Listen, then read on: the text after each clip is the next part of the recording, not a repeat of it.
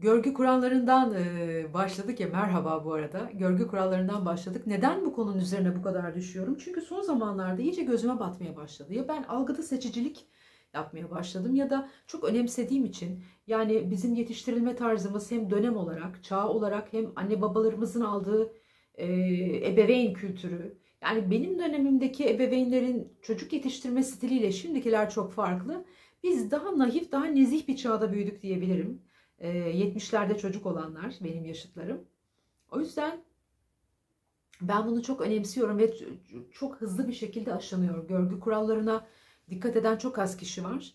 Görgü kuralları çok önemlidir. Tahsilden de önemlidir. Yani tahsil çok önemlidir ama görgü kurallarına haiz değilseniz, sahip değilseniz e, aldığınız eğitim, bildiğiniz yabancı diller, kıyafetiniz, kılığınız, mevkiniz önemsiz hale geliyor. Yani sıfır yutan eleman gibi bir şey ya da bir etkisiz eleman gibi bir şey.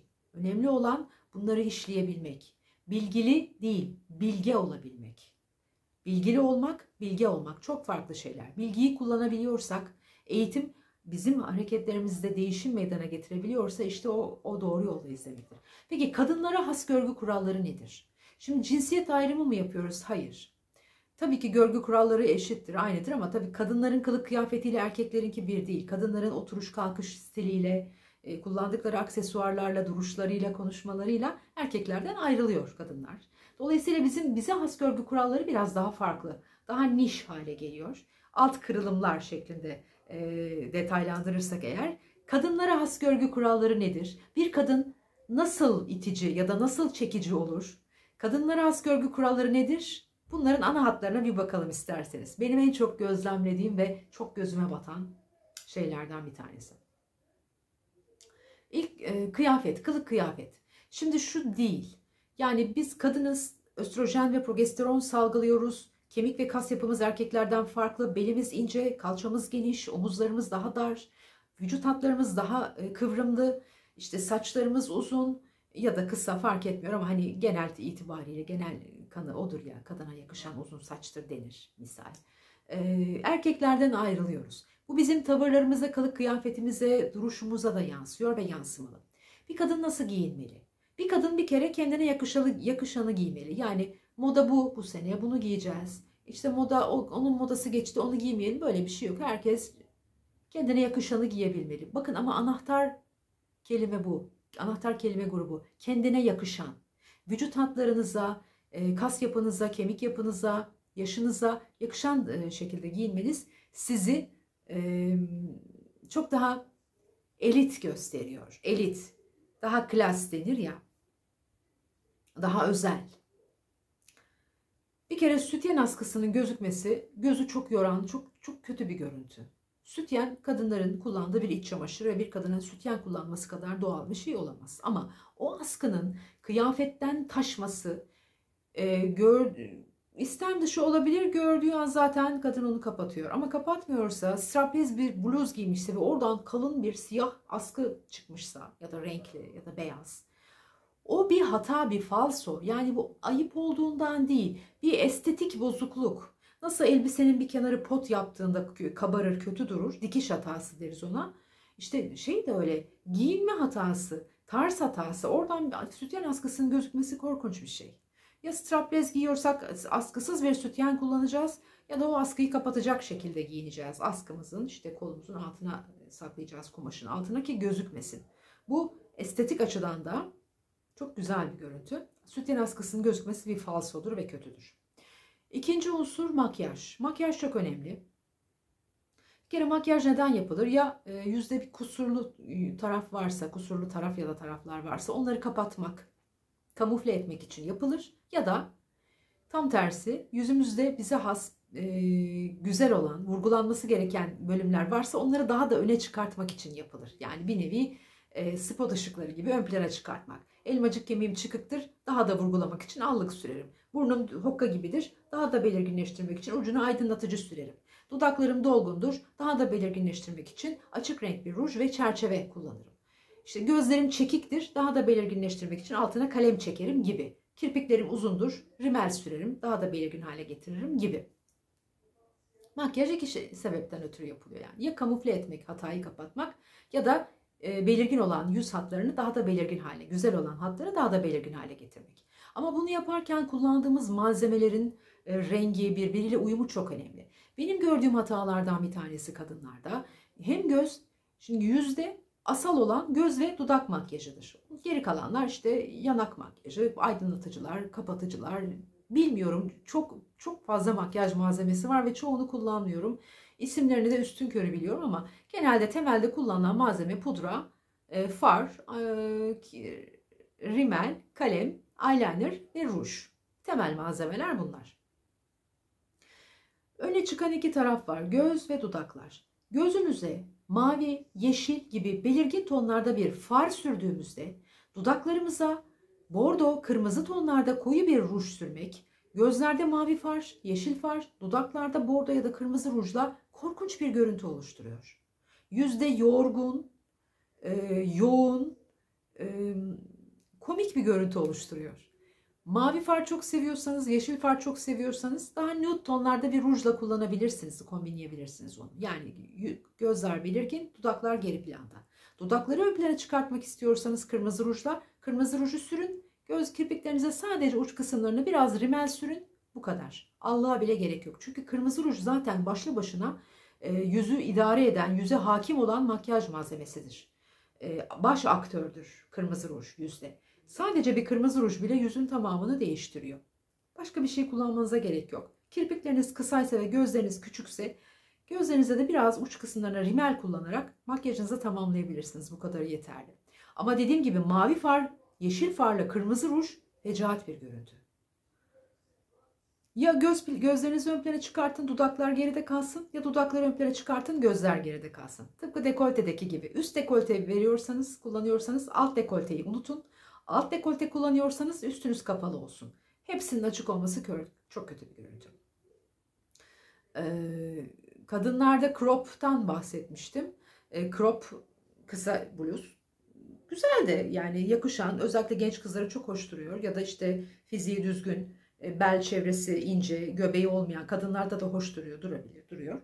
Ama crop'un e, ölçüsü var. Yani sadece göbek deliğine kadar olan bir uzunluk. Ama Şimdiki croplara bakıyorum sütyen modülünde. Yani şurada göğüs altında bitiyor. Kalın askı şurada bitiyor. Sporcu sütyeni gibi bir bluz. Güya bluz. Göbek kasıklara kadar açık. Göğüs altından komple açık burası. Altta da body ya da e, ona benzer bir kilotlu çoraptan hallice bir tight. Çok kötü bir görüntü. Yani dedim ya dekoltenin sınırı bir ölçüsü vardır. Sizi bir kerte daha kaliteli yapar, bir kerte daha ucuz yapar. O ölçüyü bilmek çok önemli. O sınırı bilmek çok önemli. Yoksa dekolte çok güzel bir şey. Yakışan, e, kendine yakıştıran kadınların kullanabileceği, kullanılması gereken bir şey. O yüzden e, aşırı dekolte kadınlık değildir. Aşırı dekolte çekicilik değildir. Tam tersi kötü bir görüntü oluşturur. O yüzden buna dikkat etmek gerekiyor. Kadında bir diğer itici olan detay yüksek sesle konuşmak ve yüksek sesle gülmek.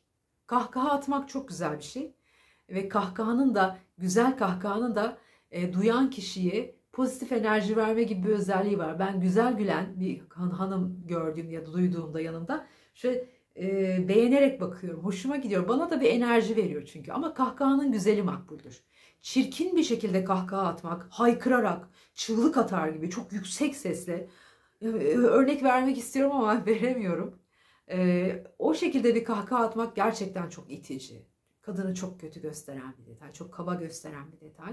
Yüksek sesle konuşan kadınlar, bağırarak konuşan kadınlar ve çok konuşan kadınlar yine e, son derece itici gözüküyor toplumda. Kadına alçak sesle konuşmak, yumuşak ses tonuyla konuşmak, tatlı tatlı konuşmak yakışıyor. Güzel gülmek yakışıyor. Kahkaha atılır, atılmalı ama güzel kahkaha atılmalı. Diyafram kullanarak şeklinde. Yani böyle bağırarak, haykırarak, martı çığlığı gibi kah kahkahalar gerçekten hem komik hem de kadını puan kadından puan eksilten detaylardan bir tanesi. Bir e, detay daha bir kadını itici gösteren detaylardan bir tanesi argo konuşmak. Argo konuşmak e, hiç kimseye yakışmıyor ama şimdi argonun bir güzelliği de vardır. Mesela argo e, tuluatta orta oyununda, tiyatroda kullanılan bir şeydir. Mesela hadi be seni gidi teres denir orta oyununda. Yerine ve göre, yerine göre, kararına göre çok güzeldir. Ee, pek çok meslek erbabı, fotoğraf sanatçıları, ressamlar, yazarlar çoğu argolu, argo konuşur. Hatta küfürlü konuşurlar. Bunun dozu ve ölçüsü çok önemli. Yeri çok önemli. Yerinde kullanılan her şey güzel. Ama bir kadın ulu orta e, tanımadığı bir ortamda bulunuyorsa ve tanımadığı insanların arasındaysa sürekli argo konuştuğunda, küfür ettiğinde hakikaten kadını uzaklaştıran, etrafından soyutlanmasına sebep olan çok kötü bir detay. O yüzden dikkat etmek gerekiyor. Ki hepimiz ara ara işte en basitinden e, affedersiniz lan diyor hadi lan öyle şey olur mu diyoruz. Ama bunu uzun uzadıya mütemadiyen bir teviye kullanmak, her cümlenin arasına sıkıştırmak, sürekli kullanmak bir kadına yakışmayan bir detay. Kadına zarafet yakışır. Ee, zarafet ve zayıflık aynı şey değildir. Mesela zayıf kadın vardır, zarif değildir. Her zayıf kadın zarif değildir. Ne e, hatları kalın, hani toplumda balık etli derler ya, toplu denen kadın türü. Yani işte ideal kilosunun birkaç beden üzerinde ama o kadar zariftir ki tavırları, o kadar yumuşak ve dişildir ki hayran kalırsınız kolunu, elini kullanışı, ses tonunu kullanışı, e, vücut dili o kadar zariftir ki gözlerinizi alamazsınız. Yani bunun kilo ile ilgisi yok. Ve ne çıta gibi bir deri bir kemik kadınlar görüyorum. incecik bir bel ama o kadar kaba söylemler ve davranışlarda bulunuyor. O kadar kötü giyiniyorlar ki üslup olarak. Zarafetten hiç nasip almamış diyorum. O yüzden zarafet eşittir zayıflık değil. Her zayıf zarif değildir. Zarafet doğuştan gelen bir özelliktir bu arada. Ama e, tabii ki adım adım bu detaylara dikkat ederek, bu görgü kurallarını içselleştirerek e, zarif olma yolunda adım atabiliriz. Argo konuşmak bir kadına hiç yakışmıyor ve itici kılan detaylardan bir tanesi. Kişisel bakımın eksikliği. Şimdi kişisel bakımın e, cinsiyeti yoktur. Yani işte kadınlar daha bakımlı olmalı, erkekler bakımsız olabilir böyle bir şey yok. Herkes çocuktan e, ihtiyarlığa kadar her yaş kesiminde, her yaş grubundan insanın kişisel bakımını, öz bakımını yapması çok elzem, çok gerekli. Bir kere kendimize duyduğumuz saygı, etrafımıza duyduğumuz saygı. Yani benim nefesim kokarsa karşımdakini de rahatsız ederim. Buna yapmaya hakkım yok. Ter kokarsam bu kokuyla karşımdakini rahatsız ederim. Buna hakkım yok gibi. O yüzden özellikle kadınların kişisel bakımlarına çok dikkat etmeleri gerekiyor. Eğer e, beyaz varsa saçlarında dip boya zamanı gelmişse mutlaka dip boyasını yaptırmalı, kendisi yapmalı ya da e, çok hafif bir makyaj en azından bir ruj kullanmalı dışarıya çıkarken. Ruj yaşam enerjisidir. Ruj süren kadınlar yaşam enerjisiyle doldu. Benim bir komşum var üst katta 80 küsur yaşında, 83 yaşında. E, kilosuna son derece dikkat eden bir hanım. incecik sporunu yapıyor, yürüyüşünü yapıyor ve onun yavru ağzı bir ruju var. Daima dudağında. Markete giderken, alışverişe giderken, yürüyüşe çıkarken daima o yavru ağzı rujunu sürer ve öyle çıkar. Hayranım kendisine 83 yaşında. Allah uzun ömür, sağlıklı ömürler versin. Böyle olmalıyız. Ruj yaşam enerjisidir. En azından bir ruj kullanmak. Hafif, e, sakin, sakin olmak, sade olmak çok güzel bir şey. Azlık çokluktur denir ya. O yüzden kişisel bakım mutlaka kadına ter kokmak hiç yakışmıyor. Kimseye yakışmıyor ama kadına özellikle çok kötü duran bir şey. O yüzden çok da güzel bir kadın bakıyorsunuz ama ter kokuyor. Ter kokmamak, saçlarımızı mutlaka e, maşayla ya da düzleştiriciyle şöyle bir dışarıya çıkmadan önce e, bir şekillendirmek. Hani kuaförden çıkmış ölçüşü olmalı. Ne kuaförden yeni çıkmış gibi şatafatlı ve frapan ne de yataktan yeni kalkmış gibi kötü ve pasaklı. İkisinin ortası doğal, çaba gösterilmemiş yani çok çaba harcanmamış bir saç ama özen gösterilmiş bir saç.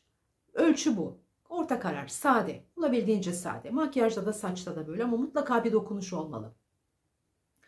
E, ayak tırnakları konusu. Şimdi oje kullanmıyor olabilirsiniz. E, tırnaklarınızda hassasiyet vardır ya da işte inancınız gereği sürmüyorsunuzdur. Bir sürü sebep olabilir. Ama eğer oje kullanıyorsanız ve yazın açık ayakkabı giyiyorsanız ayak parmaklarına mutlaka oje sürmek gerekiyor. Çünkü ayak benim mesela ayak hassasiyetim vardı. Bir insanın ayaklarına bakarım, çıplak ayaklarına. işte yazın e, parmak arası terlik giyiliyor. Erkeklerde, kadınlarda kullanıyor. Özellikle topuk bölgesinde birikmiş nasır ve ölü derilerin görüntüsü, o sararmış görüntü topuklarda. Tırnaklar kırık ya çok kısa kesilmiş, tırnak ete gömülmüş. Ya da aşırı uzatılmış, fazla uzatılmış. Hani derler ya ta, tabir caizse kazma gibi uzatılmış. Kocaman bir tırnak. Üzerinde oje yok, sapsarı bir tırnak sararmış. Korkunç bir görüntü, kötü bir görüntü, estetik dışı. Ne yapacağız? Pedikür yaptıramıyorsak ben kendim evde yapıyorum. Manikürümü, pedikürümü kendim yapıyorum. Topuklar mutlaka temizlenmeli. Özellikle kadında da erkekte de. Hani al topuklu beyaz kızlar der Türkiye'de. Pembe topuk kadına has bir görüntüdür ve kadını güzel gösteren detaylardan bir tanesidir. Topukların pembe olması için topuk törpüsüyle o ölü deriyi almak ve kremlemek gerekiyor. Taptaze bir topuk. Tırnaklar düzgün kesilmiş, etle aynı seviyede. Yani etin bittiği seviyede. Ne çok uzun ne çok kısa. Mutlaka ojelenmiş. Etrafındaki etler alınmış. Güzel bir açık ayakkabıyla o ayak mis gibi durur. Kadınlık budur, zarafet budur. Erkeklerde de böyle. Yani erkekler de yaptırmalı. Topuklarda bir karış nasır, sapsarı bir ayak altı çok kötü bir görüntü. Parmak arası giyerken, stiletto giyerken, açık ayakkabı giyerken ve yazın mutlaka bu ayak bakımının yapılması ve mümkün mertebe oje kullanılması gerekiyor. Tırnakta kullanmasak bile ayaklarda kullanılmasını ben salık veriyorum ve ben öyle kullanıyorum. Çok da hoş duruyor. Kişisel bakım böyle. Ee, bakımsızlık yani doğallık makyaj yapmamak, evden işte bir kot bir tişörtle çıkmak, papuçla işte ayakta babetle de spor ayakkabıyla işe gitmek değil. İşe giderken evdeki kıyafetlerimizle gitmemeliyiz. Yani çok görüyorum bir altına blue jean çekmiş üstünde bir tane tişört saçlarını şöyle bir gelişi güzel şöyle bir kıvırmış buraya e, o şey ne denir ona kıskaç tokalarla şuraya sabitlemiş. Ayakta spor ayakkabı biraz önce cam silmiş işe gelmiş gibi bir görüntü. Kadına bu yakışmaz yani olmaz. Bir güzel bir kıyafet giy, bir yüz dudağına bir ruj sür, saçını bir tara değil mi? Bunlar hoş şeyler, bunlar kadınsı şeyler, olması gereken şeyler. Ee, kadının fıtratında, doğasında olan şeyler. Bakımsızlık çok kötü bir şey ama doğallıkla pasaklı olmayı birbirinden ayırmak lazım. Onlar çok ince bir çizgiyle ayrılıyor. Sadelik çok güzel bir şey. Her zaman sadeliği savunurum. Ama e, bakımsızlıkla arada ince bir çizgi var. Onu e, iyi tahlil etmek lazım. Bir detay daha kadını kötü gösteren detaylardan bir tanesi dedikodu. Dedikodu sadece kadınların yapmaması gereken bir şey değil elbette. Dedikodu e, çok kötü bir şey, çok kötü bir haslet. E, insanın enerjisini düşüren, insanı kötü gösteren, e, karşımızdaki insanın bize güven duymamasına sebep olan,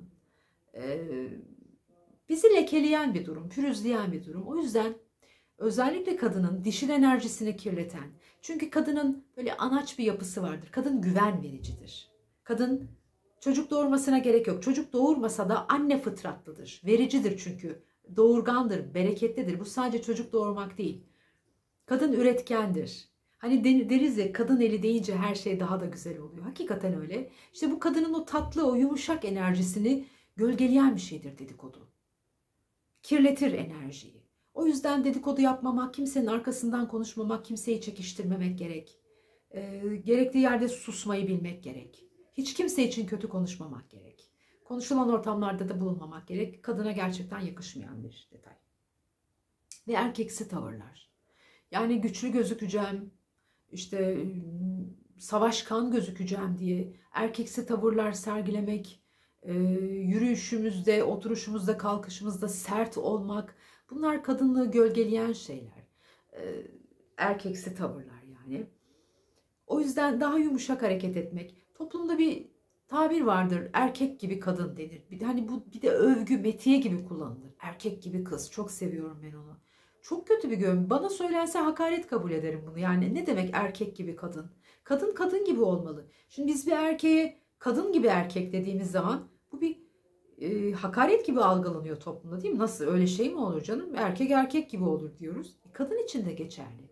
Bir kadına erkek gibi kadın demek hoş bir şey değil. Hani erkek Fatma denir ya. Yok. Yumuşak olmak. Dişil enerji. Kadın alandır. Veren değil. Edilgendir, yumuşaktır. Üretir. Edilgenlikten yanlış anlama, anlaşılmasın. Edilgenlik durmak, hiçbir şey üretmemek, olduğu yerde beklemek, başkasına müdana etmek değil. Paramızı kazanalım, mesleğimize sahip olalım, yeri geliyorsa işte elimizden geliyorsa tabii. E, bir dil öğrenelim, işimizde başarılı olalım. E, yapabiliyorsak bir okul daha bitirelim. Üretken olalım yani ya da evimizde işte herkes tahsil yapmak zorunda değil, yapamamıştır olabilir ama önemli olan üretebilmek, çabalayabilmek, şeyler ortaya koymak. Ama bunu yaparken de edilgen olmak yani yırtıcı, böyle sert değil de daha yumuşak kalabilmek, kadınsı tavır sergilemek çok önemli. Benim aklıma gelen, benim gözlemlediğim e, detaylar bunlardı. Bir kadını itici yapan detaylar ve çekici yapan detaylar bunlardı. Ve kadınlara has görgü kuralları bunlardı. Giyinirken daha usturuplu, daha düzgün, çamaşırımızı göstermeden, dekolteyi fazla abartmadan, üst dekolte kullanacaksak alt kapalı ya da alt kullanacaksak üst kapalı, mavi yeşil farlarla kırmızı bordo rujlar kullanmadan, daha sade sakin makyaj yaparak, e, doğal saçlarla, çok fazla cafcaflı frapan takılarla işte e, aksesuarlarla kıyafetler değil, daha bize yakışan, modaya uygun değil, kendi bedenimize uygun kıyafetler giyerek, yumuşak konuşarak, güzel kahkaha atarak, e, bağırıp çağırmadan, sakin sakin konuşarak e, çok naif, hoş, zarif bir kadına dönüşebiliriz. Tabii ki doğuştan getirdiğimiz o zarafet bize bir sıfır e, şey verecektir, avantaj sağlayacaktır ama bu detaylara da dikkat ederek en azından biraz daha kendimizi zarif hale getirebiliriz. Kadınlar çiçektir. Gerçekten çiçektir. çok teşekkür ediyorum vakit ayırıp izlediğiniz için. Sorularınız olursa, eklemek istediğiniz önerileriniz, fikirleriniz olursa videonun altına bırakabilirsiniz. Esen kalın.